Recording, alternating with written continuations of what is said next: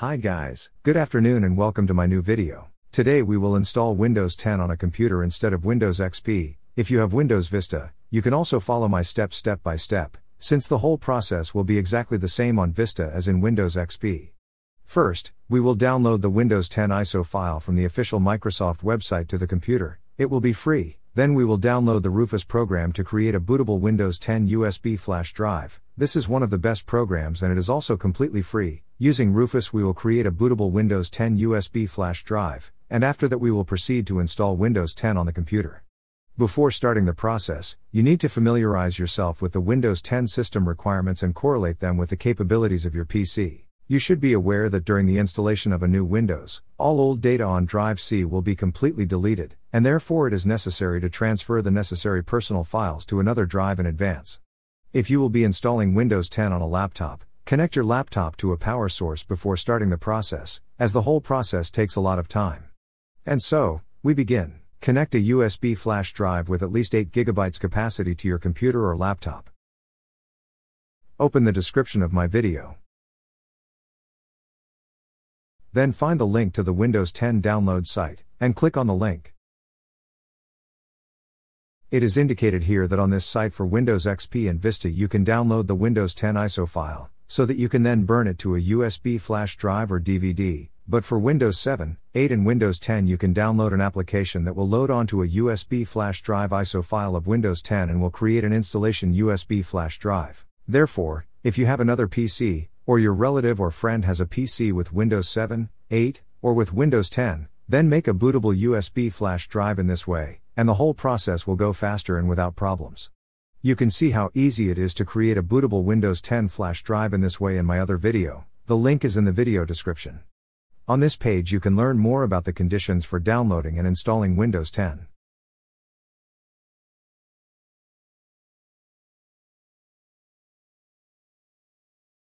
So we chose the Windows 10 ISO file. To download Windows 10 ISO click, here. Click, confirm. And here you can choose the language for your Windows 10.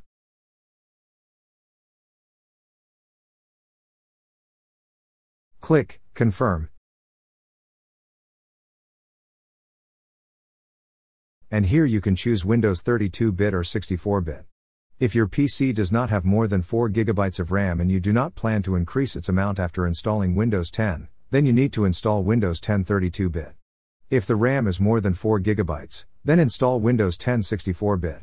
I choose 64-bit, and the process of downloading the Windows 10 ISO file to the PC immediately began.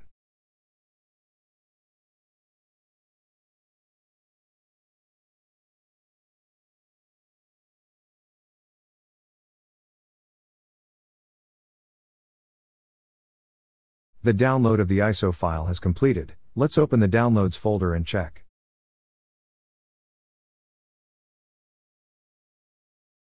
Yes, the Windows 10 ISO file has loaded, and now you need to download the Rufus application. Open the description of my video. Find the link to the Rufus download page, and click on it.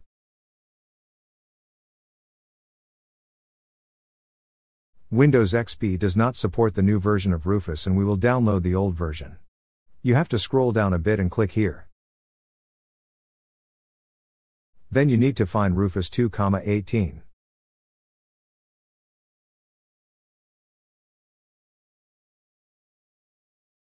Click, here. And Rufus downloaded to my PC.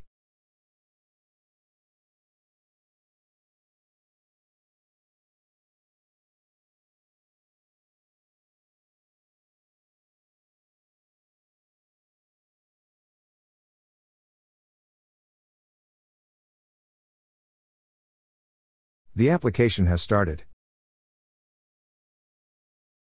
Here we see our USB flash drive.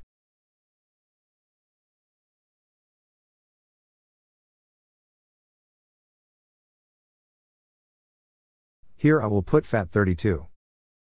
To select the Windows 10 ISO file, click here. And click once on the ISO file. Open. Press, Start. The program warns that before the process of creating a USB flash drive, all old data on the USB flash drive will be completely deleted. Click OK. OK. And the creation of a bootable USB flash drive for Windows 10 has begun.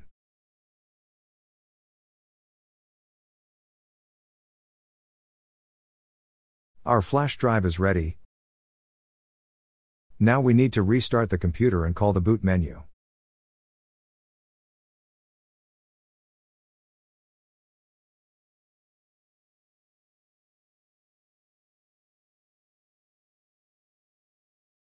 To do this, immediately after the start of the reboot, constantly press the boot menu call key on your keyboard. I press F9, for you it could be F8, F9, F11, F12, or some other key. You can see how to call the boot menu in my other video, the link is in the description of this video. Find your bootable USB flash drive in the boot menu. Press, Enter. Press, Enter. It is possible that before the Windows 10 logo appears, you will have a black screen and a blinking cursor in the right corner for quite some time. Do not worry and wait for the Windows 10 logo to appear, this is the installation of a new Windows on your PC.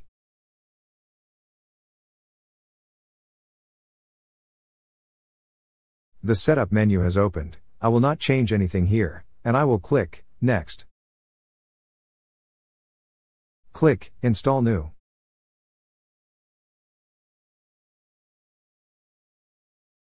If you have a Windows activation key, enter it here, and I will click I do not have an activation key, and then I will show you how to install Windows 10 without activating the operating system.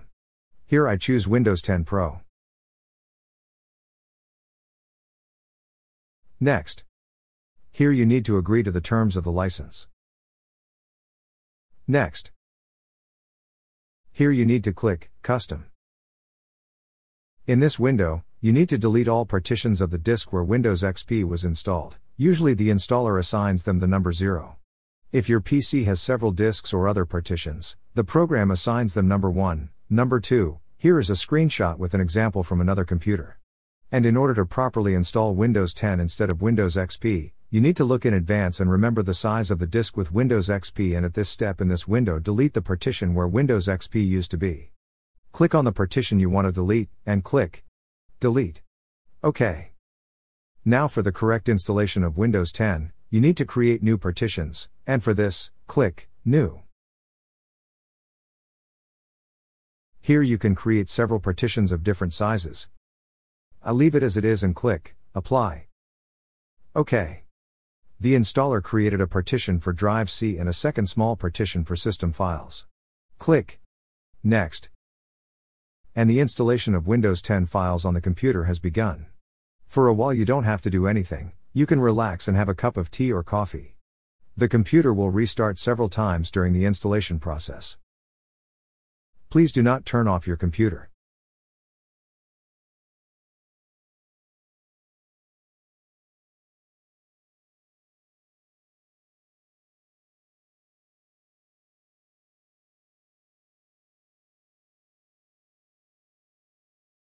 It remains to make a few settings, here you need to select the region.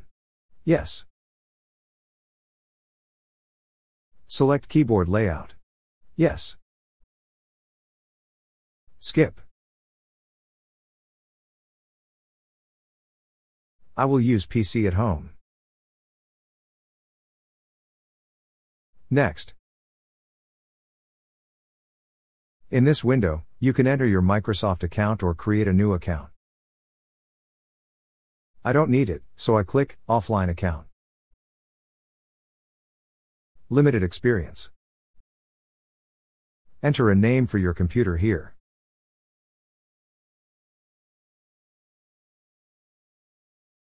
Here you can create a Windows login password. I will do it later. Next. To reduce the load on the processor, I disable all these settings.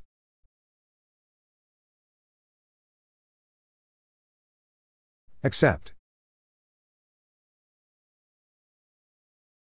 And here is the first greeting of Windows 10. There is very little left before the installation is completed.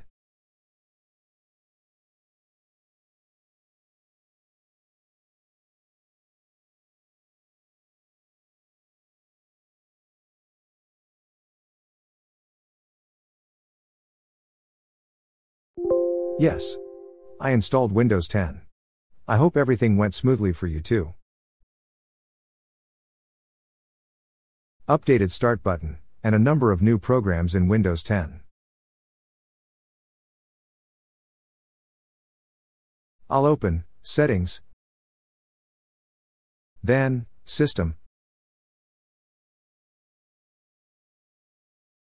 About the system.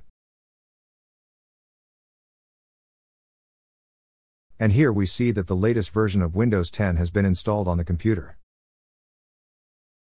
Now you can use this Windows without activation for as long as you want, but if you need to get a Microsoft account and activate your operating system, this can be done quickly and easily. Now don't forget to leave your comment, subscribe to my channel if you haven't already, and I just hope this video was informative for you, and I would also like to thank you for watching my video. Good luck!